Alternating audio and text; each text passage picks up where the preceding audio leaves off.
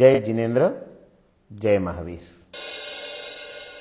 સત્તરમી શતાબ્દીના જૈન પરંપરાના મહાન જ્ઞાની પુરુષ, મહોપાધ્યાય યશો વિજયજી મહારાજે એક જગ્યાએ એમ કહ્યું કે, વચન કાયા તે તો બાંધીએ, પણ મન નવી બાંધ્યું જાય અને મન બાંધ્યા વીણ પ્રભુ ના મિલે કરીએ કોડી ઉપાય.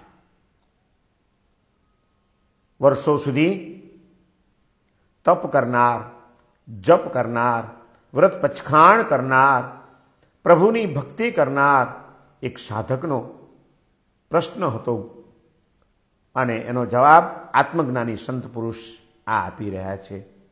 એમણે કહ્યું, ભાઈ, તે ઇન્દ્રિયોનું દમન કર્યું, તપ કરીને.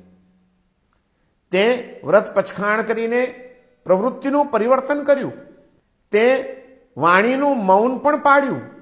બધું જ કર્યું. પણ તારી આંતરવૃત્તિઓમાં પરિવર્તન થયું છે ખરું? વાણીનું તો મૌન કર્યું, પણ મનનું મૌન સધાયું છે ખરું? તારા સંકલ્પ વિકલ્પો ઓછા થયા? તારી વિચારધારામાં કોઈ શાંતિ આવી? વ્રત પચખાણ તપ, જપ, આ બધું જ આખરે તો મનને બાંધવા માટે છે, ભટકતા મનને સ્થિર કરવા માટે છે, મનને જીતવા માટે છે. જ્યાં સુધી ધ્યાન ના લાગે, નિર્વિકલ્પ અવસ્થા ના આવે, ત્યાં સુધી પ્રભુનું દર્શન કેવી રીતે થાય, પરમાત્માનું દર્શન કેવી રીતે થાય, આત્માનો અનુભવ કેવી રીતે થાય?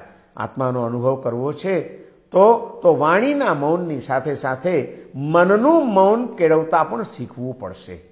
એ માટે યોગાભ્યાસ કરવો પડશે, એ માટે પ્રાણાયામ કરવા પડશે, એ માટે પ્રત્યાહાર કરવો પડશે, એ માટે ધારણા કરવી પડશે, એ માટે ધ્યાનનો અભ્યાસ કરવો પડશે અને એ અભ્યાસ કરતા કરતા કરતા કરતા જ્યારે મનના સંકલ્પ વિકલ્પો ઓછા થશે, મન બંધાઈ જશે, મન સ્થિર થશે, ત્યારે પ્રભુનું દર્શન થતાં વાર નહીં લાગે, આત્મદર્શન થતાં વાર નહીં લાગે.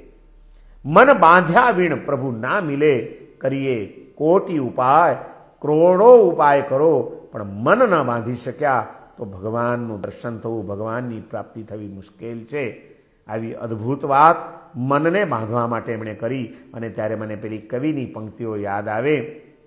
બહુ સરસ વાત કરી છે એક અજ્ઞાત કવિએ કે થતે કેવું સારું, અગર મનને હોત પગજો. થતે કેવું સારું? અગર મનને હોત પગજો, કદી તો થાકીને ભટકી ભટકી જાત અટકી. તો ભટક્યા જ કરે છે, ભટક્યા જ કરે છે, ભટક્યા થાકતું જ નથી. માણસ આખો દિવસ ચાલ ચાલ કરે તો એનો પગ થાકે એટલે બે જાય, અટકી જાય. હાડું મન એને પગ નથી, એટલે થાકતું જ નથી. સતત રાત ને દિવસ ચાલુ ને ચાલુ ચાલુ ને ચાલુ ભટક્યા જ કરે છે. એટલે કવિ કહે છે કે, થતે કેવું સારું? અગર મનને હોત પગજો કદી તો થાકીને ભટકી ભટકી, જાત અટકી, આ મનને અટકવું, મનનું અટકવું. એ જ સાચી સાધના છે. અને એ જ પરમાત્માને પામવાનો સાચો રાજમાર્ગ છે. તો ચાલો આપણે મનને સંકલ્પ વિકલ્પ રહિત કરવાના સાધનાના માર્ગે થોડાક ડગ માંડીએ અને જે દિવસે આપણું મન શાંત થશે, ત્યારે શાંત થયેલા ચિત્તમાં પરમાત્માનું પ્રતિબિંબ પડતા વાર નહીં લાગે. આવા અંતરાત્મામાં જ પરમાત્માનું પ્રતિબિંબ ઝીલવાની શક્તિ આપણામાં પ્રગટે એવી પરમાત્માને પ્રાર્થના. જય જિનેન્દ્ર, જય મહાવીર.